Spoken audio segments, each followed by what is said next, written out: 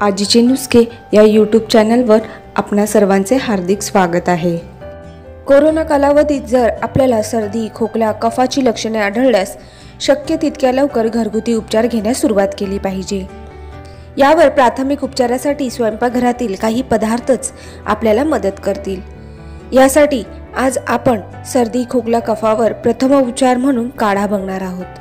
हा काढाच आपल्याला सर्दी खोकला कफ तापापासून लवकर सुटका करण्यास मदत करू शकतो. तर हा काढा बनवण्यासाठी काय काय साहित्य लागणार आहेत ते तर मी तुम्हाला सांगणारच आहे. त्याचबरोबर त्या पदार्थाचे औषधीय गुणधर्मही आज सांगणार आहे. काढा बनवण्यासाठी पहिला पदार्थ म्हणजे तुळशीची पाने.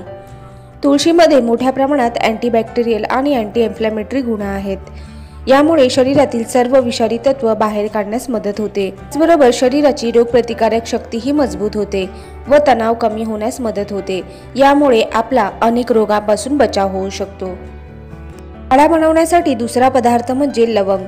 लवंगमध्ये जीवनसत्वे फायबर आणि खनिजांचा समावेश आहे. त्याचबरोबर यात युगेनॉल नावाचे महत्त्वपूर्ण तत्व असते. याचाच आरोग्याला मोठ्या प्रमाणात फायदा होतो. लवंग तिखट कडू रसाची असून पाचक व रुची उत्पन्न करण्यासाठी त्याचबरोबर कफ व पित्त विकारांवर काम करते. काढा बनवण्यासाठी तिसरा पदार्थ म्हणजे वेलदोडे. स्वादाने परिपूर्ण असणाऱ्या वेलचीमध्ये अनेक औषधीय गुणधर्म आहेत. वेलचीमध्ये लोह व्हिटॅमिन सी बी हे महत्त्वाचे घटक आहेत. वेलची ही लाल रक्तपेशी निर्मितीत एक महत्त्वाची भूमिका बजावते. यात असणाऱ्या अँटीबॅक्टेरियल गुणामुळे खोकला सर्दी छातीत होणारा कफ दूर करण्यास वेलची मदत करते व चांगली भूक लागते व याने रोगप्रतिकार शक्तीही वाढते. काढा बनवण्यासाठी चौथा पदार्थ म्हणजे हळद.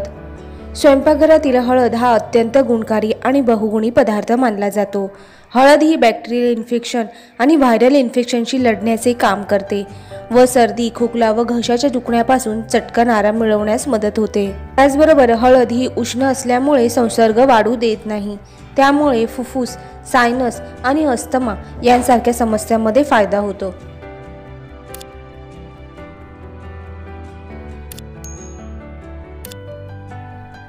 काढा बनवण्यासाठी पाचवा पदार्थ म्हणजे कांदा. कांद्यामध्ये मोठ्या प्रमाणात proteins carbohydrate vitamin A C B six B complex calcium iron potassium phosphorus fibre sulphur असते. त्याचबरोबर कांदा आपल्या शरीरात पाण्याची कमतरताही भरून काढतो. कांद्यामुळे छातीत साठलेला कफ बाहेर पडण्यास मदत होते. काढा बनवण्यासाठी सहावा पदार्थ म्हणजे गवती चहा. सर्दी पडसे आणि अंग मोडून ताप आला असेल तर अशावेळी गवती चहाच्या सेवनाने चांगला आराम मिळतो. ताप आला की तो सहजासहजी जात नाही आणि गेला तरी अंग मोडून येतो. अशावेळी अंगातून येणारा घाम अधिक प्रमाणात येणे फायद्याचे असते. त्यासाठी ताप आलेल्या व्यक्तीने गवती चहाचे सेवन केल्यास घाम येतो आणि ताप देखील उतरण्यास मदत होते. याच्या सेवनाने उलटी जुलाब थांबण्यासही मदत होते. काढा बनवण्यासाठी सातवा पदार्थ म्हणजे दालचिनी.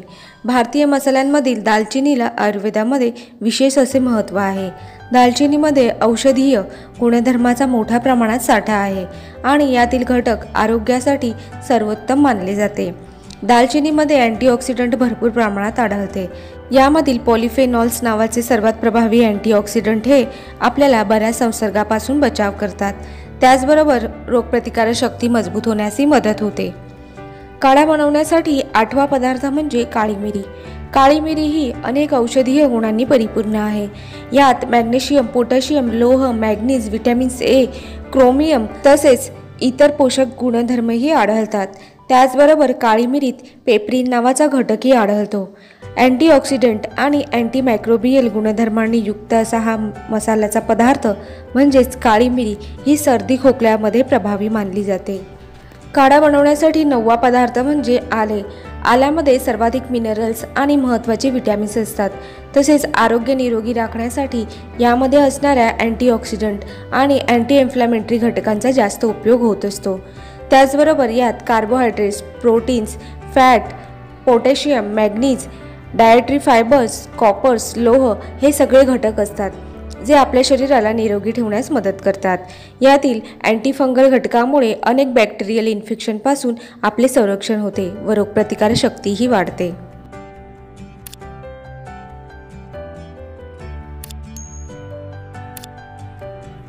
काढा बनवण्यासाठी दहावा पदार्थ म्हणजे ज्येष्ठ मध. सर्दी खोकल्यामध्ये ज्येष्ठ मध खूप गुणकारी ठरते. ज्येष्ठ मधामध्ये कॅल्शियम अँटीऑक्सिडंट व अँटीबायोटिक तत्व असतात. यामुळे शरीराला अनेक फायदे मिळतात. घसा दुखणे खवखवणे दम लागणे सर्दी खोकला ताप तोंड येणे आदी समस्ये ज्येष्ठ मधामुळे आराम मिळतो. काढा बनवण्यासाठी अकरावा पदार्थ म्हणजे तमालपत्र. तमालपत्रामध्ये अनेक औषधीय गुण आहेत. तमालपत्रामध्ये मोठ्या प्रमाणात अँटीऑक्सिडंट आढळून येते. त्याशिवाय यात पोटॅशियम कॅल्शियम लोह सेलेनियम यांचाही मात्रा मोठ्या प्रमाणात असते. यामुळे तमालपत्र दाह आणि श्वसन रोगांपासून संरक्षण करण्यास मदत करते. तर काढा बनवण्यासाठी चार कप पाण्यात दहा ते पंधरा तुळशीची पाने चार ते पाच लवंगा दोन ते तीन वेलदोडे दालचिनीचा तुकडा थोडासा गवती चहा चार ते पाच काळी मिरी छोटा आल्याचा तुकडा अर्धा चमचा हळद. हळद ओली असल्यास जास्त चांगले नाहीतर हळद पावडरही चालेल. मध्यम आकाराचा अर्धा कांदा आणि ज्येष्ठ मध घालून काढा दहा मिनिटे मध्यम आचेवर उकळवावा. ज्येष्ठ मध नसल्यास गुळाचाही वापर करू शकता.